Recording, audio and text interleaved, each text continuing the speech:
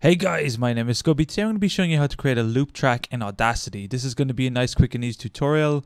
Let's jump right into this. So the first thing you want to do is have a piece of audio on your timeline. Right now I have this nice beatboxing sample on my timeline, which I'm going to want to loop to make a nice extended period of it. So I currently have this quick sample of me beatboxing, which I want to extend out to make a multiple loop version of this, so I can multiply this out over an extended period. Let's give this a quick sample over first.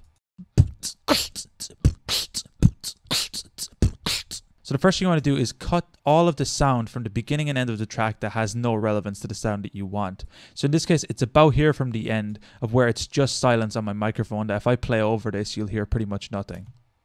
It's just background noise from my mic, and I don't need this part of my audio, so I'm going to be removing it. So what you want to do is highlight the part of the audio at the end of your track, and we're going to be coming to our cut tool up here, or you can click Control and X if you want, if that would be easier. And then we're also going to be coming to the very start of our track, and we're going to be doing the same just before the first beat kicks in, which is just about here. And we're going to be coming to our cut tool again, or you click Control and X like I said previously. And now we should have a nice clean piece of audio that's just going to be the sound sample that we want to repeat. So what you want to do now is highlight and drag the whole piece of the audio that you want to use in this case, which is just going to be the sound sample I have right here.